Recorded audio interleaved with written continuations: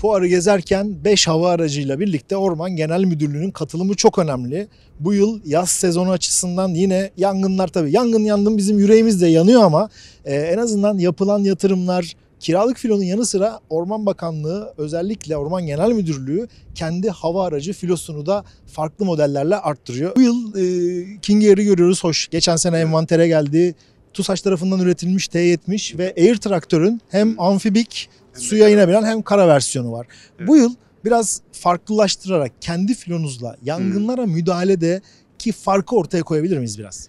Mutabık e, 6 Mayıs itibariyle e, biz yangın sezonu maksatlı görev bölgelerimize dağıldık. E, malumunuz e, TUSAŞ tarafından üretilen 3 adet e, T-70 yangın söndürme helikopterimiz şu an envanterimizde. Ayrıca 8 adet, bunun 2 adedi kara versiyonu, 6 adedi amfibik olmak üzere e, uçağımız, yangın söndürme uçağımız şu an görev bölgelerinde görevlerine devam ediyorlar. E, bu yıl itibariyle biz e, Çanakkale'de 4 uçakla Çanakkale, Kütahya, Balıkesir, Bursa ve İzmir bölgesini takviye ettik aktif olarak kullanılması bu sene itibariyle oldu bu yangın söndürme uçaklarının. Tabii biz bunu bölge müdürlerimizden e, artı Orman Genel Müdürlüğümüzden aldığımız geri beslemelerle e, fayda ve zararlarını, faydaları konusunda bilgi sahibi oluyoruz. Uçaklarımız çok hızlı uçaklar. E, amfibi uçak olarak olmasından kaynaklı e, göl, baraj, nehir ve denize inerek e, 3104 litrelik kapasite suyu yangın bölgesine çok hızlı bir şekilde ulaştırabiliyor. Yani bu yaklaşık 300 kilometre hızla e, aldığımız suyu yangın bölgesine ulaştırabiliyoruz. Yaklaşık ortalama kaç dakika sürüyor? Çünkü Ee, yangına önce ilk tabii. müdahaleyi yaparsanız büyümeden kontrol altına alıyorsunuz. Tabii ki.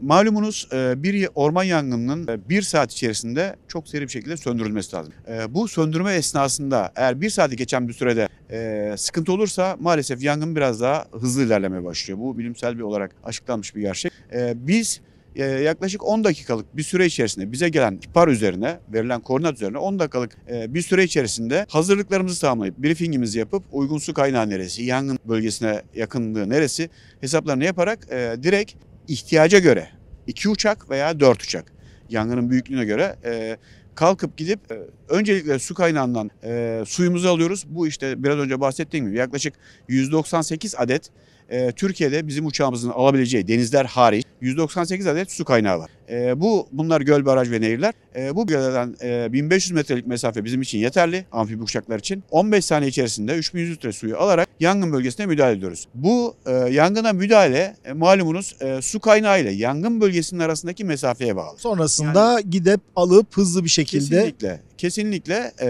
yani yangın bölgesiyle e, su kaynağı arasındaki mesafe ne kadar ise e, o süre içerisinde atış sayımız daha da artıyor. Yani örnek verebilirim. E, yaklaşık bu e, yangın mesafesinin işte 10 dakikalık mesafe içerisinde olduğunu farz edersek e, benim operasyon saati içerisinde yaklaşık 35 drop'luk gö- atışlarımız var 3 saat içerisindeki sürede. tabii uçakların yanı sıra hep biz izleyicilerimize anlatmaya çalışıyoruz. Ya, uçakta lazım, helikopterde Kesinlikle. lazım. Kesinlikle. Gelecekte bir gün belki insansız yangın söndürme sistemleri Kesinlikle. olacak. Yani- Hepsi lazım bunların. Kesinlikle. Bu sene tabii envantere TUSAŞ tarafından üretilmiş T70 Black Hawk'ın Evet. yerli versiyonu. Evet. Ee, onların performansları nasıl? Sayısı artacak mı? Bir de böyle gelecek yıllar için Hı. filo ile ilgili bir planlama ne durumda? O son bilgileri de sizden Tabii alalım. ki. Tabii ki. Ee, şu an 3 adet e, projemiz gereği e, T-70 TUSAŞ'ta üretilen T-70 Skorsky helikopterimiz envanterimize girdi. Bunun devamı için şu anda bir plan yok ama malumunuz TUSAŞ şu anda e, 10 tonluk helikopter projesini geliştirmeye çalışıyor. Bakanlıkta sipariş verdi T929 için. Mutabık, evet. e, 925 pardon. Evet. O kapsamda e, Orman Genel Müdürlüğümüz o helikopterleri temin etme yoluna gidecek. Ama proje kapsamında devam ediyor. Onun süreci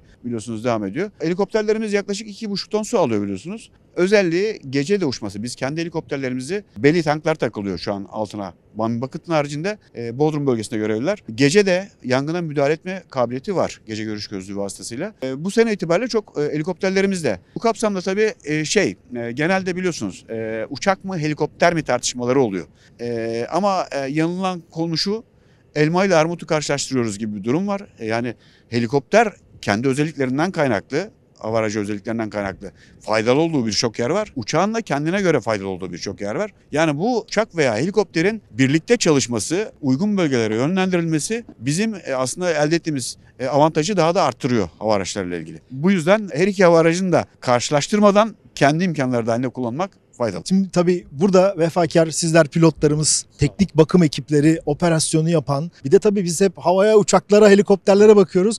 Ormanlarda görev yapan vefakar oradaki gerçekten onlara da Evet. Arazöz de lazım. Bütün bu filonun büyümesi lazım. Kesinlikle. Ama benim bir sözüm var. Onu da e, söyleyelim. İş dönüyor dolaşıyor. Ormanları asıl koruyacak olan bizleriz. Aman Evet. yangın çıkmasın ki Evet. sizlere işler e, düşmesin.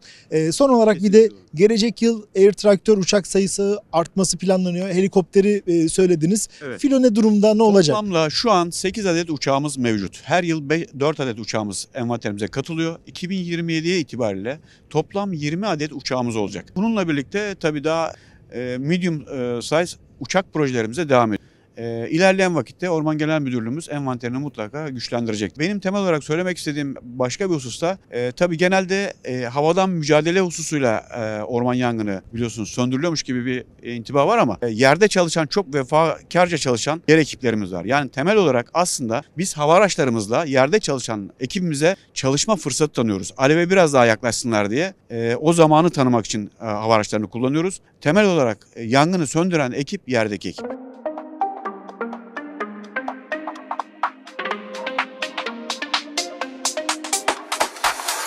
Yangınla mücadelede helikopterler, uçaklar görev yapıyor ama bir komuta merkezi. Bu bir tanesi. Yerde bir komuta merkezi var.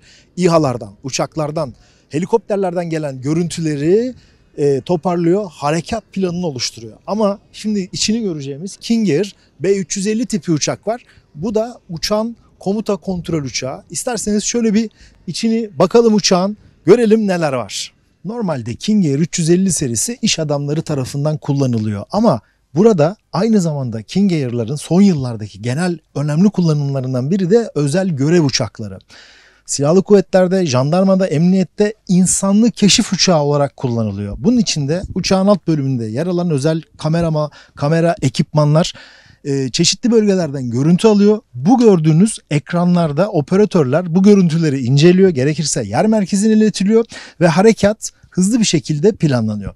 Peki aklınıza gelebilir. İnsansız hava araçlarıyla bu yapılabilir mi? Tabii ki yapılır ama şöyle bir sorunu ortaya koymakta fayda var.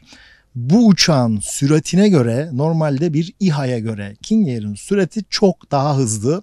Kalktığı zaman intikal ettiği yangın bölgesine çok daha hızlı gidiyor ve hızlı bir şekilde operasyonun havadan kullanılmasını sağlıyor. Askeri alanda da sivil alanda da İKU'lar, insansız keşif uçakları ve İHA'lar, insansız hava araçları birlikte kullanılıyor. Onun için de alınan görüntüler buradaki operatör tarafından dikkatle inceleniyor.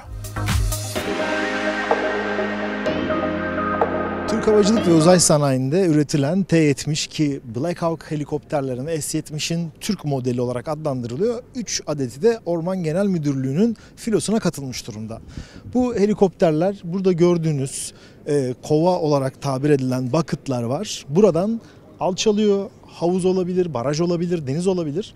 Suyu aldıktan sonra kalkıyor ve bunu atmak üzere uçuş gerçekleştiriliyor. Bu yıl farklı bir yaklaşımda gerçekleştirildi ve helikopterin alt bölümüne iç bir depo yapılarak hortum yardımıyla buradan e, suyun alınması ve atılmasıyla ilgili modifikasyonlar da yapıldı. E, bunu hem Orman Genel Müdürlüğü kullanıyor hem de Jandarma Genel Komutanlığı kendi envanterindeki onların da aldıkları T-70'lere ekliyorlar.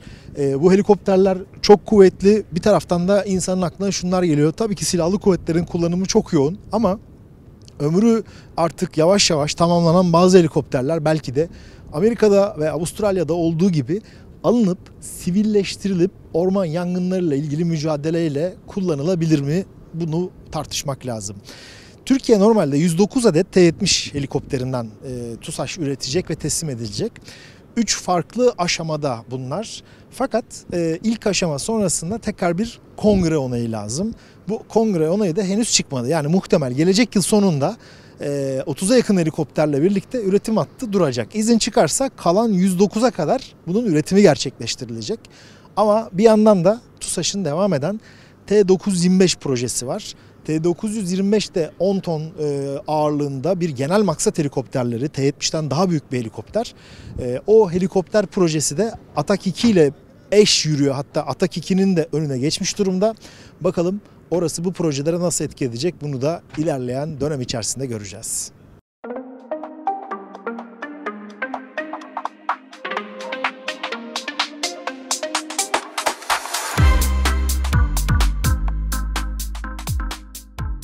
Ee, uçağımız 3104 litre. Şu an Evet. ön tarafta gördünüz. Ben suyu fiziki olarak da görebiliyorum. Buradan dijital olarak da görebiliyorum aldığım senelerle Ee, aynı suyu 3100 litrelik su kapasitesindeki o suyu 100 metrelik alan içerisinde de kapatacak şekilde atabilirim. 1 kilometrelik alan içerisinde de kapatacak şekilde atabilirim. Bunu bu FRDS sistemi üzerinden kullanıyoruz. Ee, bunun haricinde e, normal e, uçağın aletleri, motor gösterge sistemleri ve e, kullandığımız aviyonik sistemler var. E, uçağımız 1600 beygir e, Pratt Whitney motora sahip. Gerçekten çok kuvvetli bir motor. E, suyu aldıktan sonrasında e, kalkışta gücü gerçekten hissediyorsunuz bu uçakta.